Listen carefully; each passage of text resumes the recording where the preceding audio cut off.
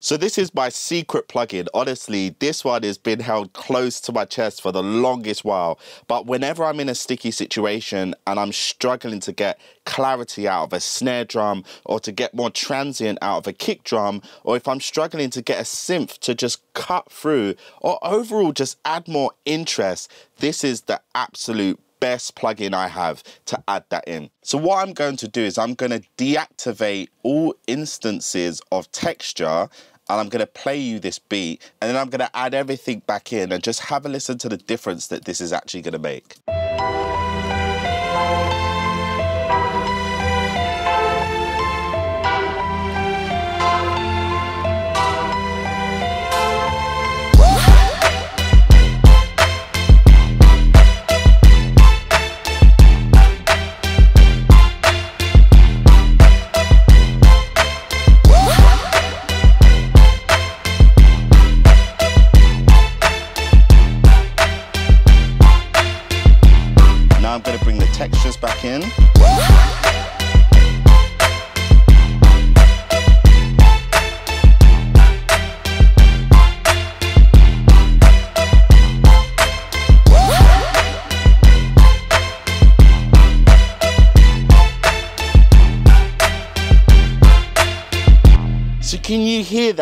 Pay attention, listen to that clap in particular.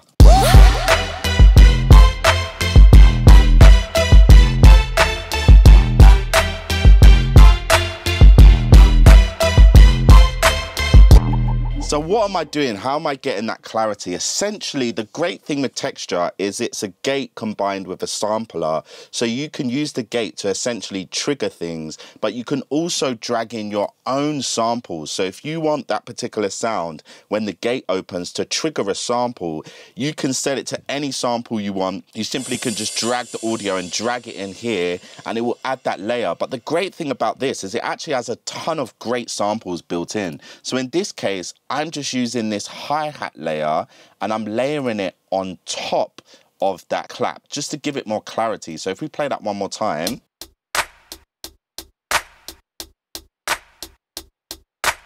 And I'll solo what the Devious Machines texture is adding.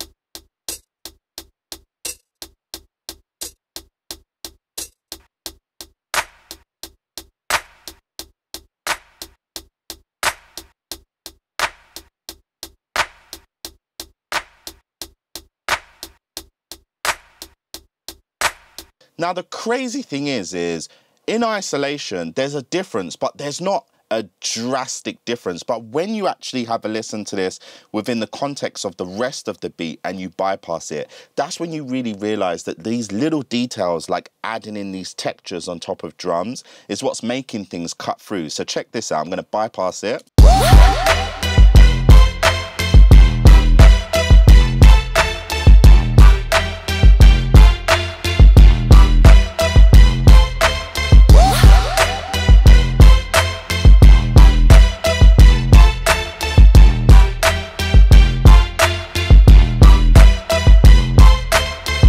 It's insane, like the way it just adds that body. So how does this work? Well, let me just save this and I'm gonna just refresh this and just make this start from scratch as if we've got nothing in it. So firstly, the way it works is there's a gate and depending on where you set the gate is where it will trigger the sound. For example,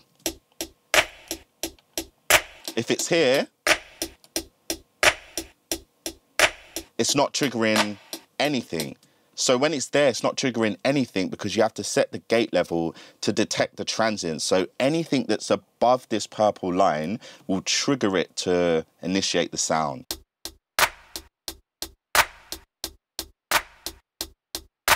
And then the thing that's incredible as well is you then have an EQ for the texture sound and a separate EQ for the original sound. So if I want to EQ the original clap to give it a bit more body, I can do that within this plugin as well.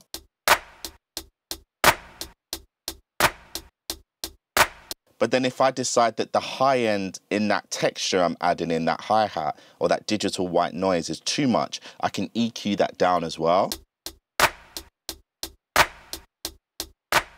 And then I also have individual control over the level of that sound as well with the gain knob. Now, it doesn't even just stop there.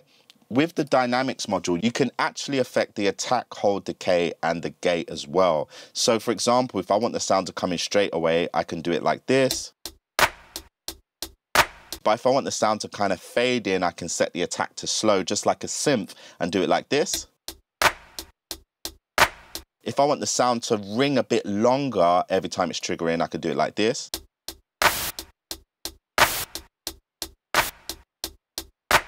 And then the decay would be like the release of the sound afterwards as well. So I can do it like this.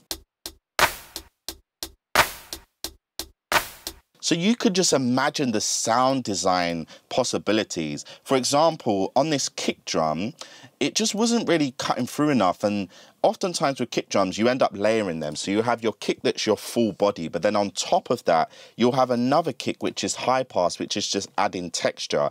And in this case, I was able to import a sample of my own, and then I set it to trigger mode so that every time the gate was opened, it would trigger it. Or you could set it to loop. Loop would be crazy. So if you had like a drum fill or a drum loop pattern, you could set the gate to open up that pattern, for example. And then you also have granular, which is insane, like granular synthesis as well. But we're going to keep it simple for today. And we're just going to focus on this texture I was able to add. So this is the original kick drum. And then this is the texture I added on top. And initially that texture sounded like this. But of course, there's way too much low end. So I was able to go here. You can select a low pass, a low pass 24, high pass, whatever kind of EQ curve you want. So I set the high pass filter and then I essentially just took out all of the low end and then I boosted the high end and then I gained it up. And then with the original kick, I didn't do any EQ to that. But this is what the two of them sound like together now. And by itself, so you're thinking, raw, that kick is super saturated, but honestly, with saturation, you don't ever do it in isolation. You always do it in the context with the mix because all of those harmonics end up making that kick punch through. So let's have a listen to how this texture added on top of this kick sounds in the context of the full mix.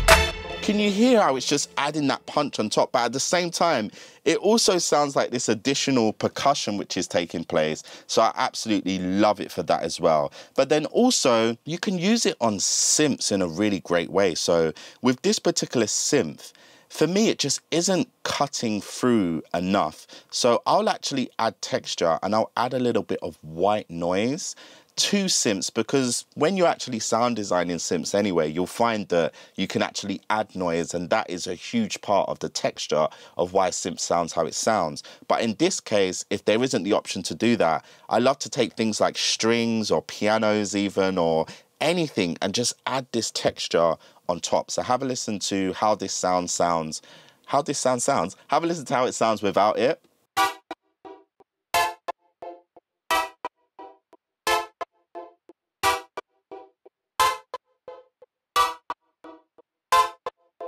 Now I'm going to add it in.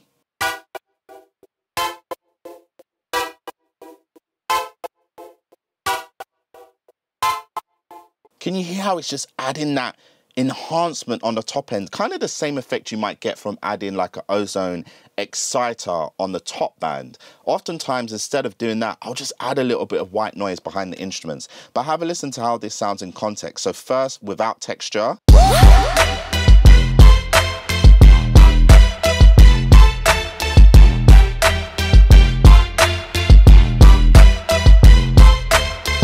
Now I'm to bring texture in.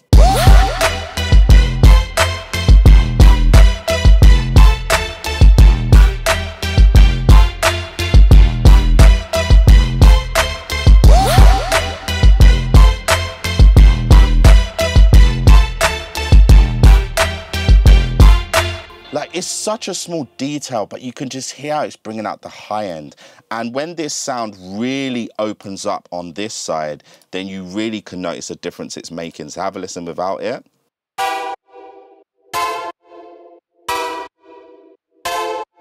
Now with it.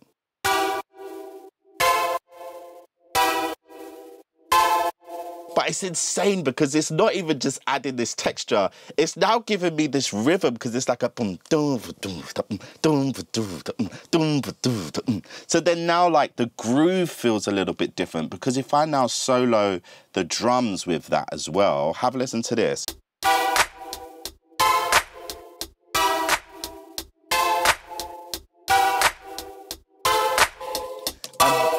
And the reason why that's happening is because the white noise is here in the reverb tail and it's adding a bit of a white noise sample to that, which is just insane sound design. Like I love the possibilities with this, but same groove without texture.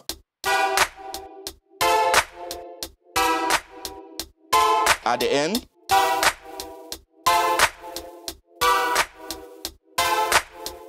It's just super interesting. Let's hear it in the context of the mix now. So let's hear it with texture and then I'll take it out.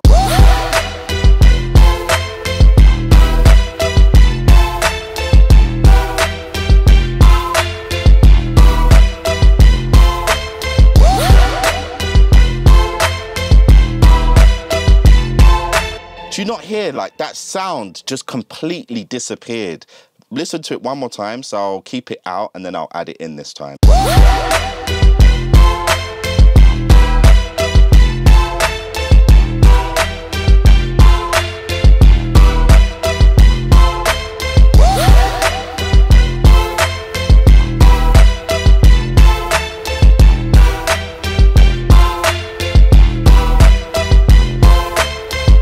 Oh my gosh, but honestly, this texture plugin I absolutely love it. And and the most incredible thing is you're not going to use this plugin how I use it. You're going to find your own creative way to use it. But check it out. Devious machines texture. This isn't a sponsored video. This is just a plugin that i absolutely love. I use it in every single production and i just wanted to share it with you today. My name is alex elliott. If you like this kind of content you know what to do. Like and subscribe. Other than that i look forward to seeing you all next time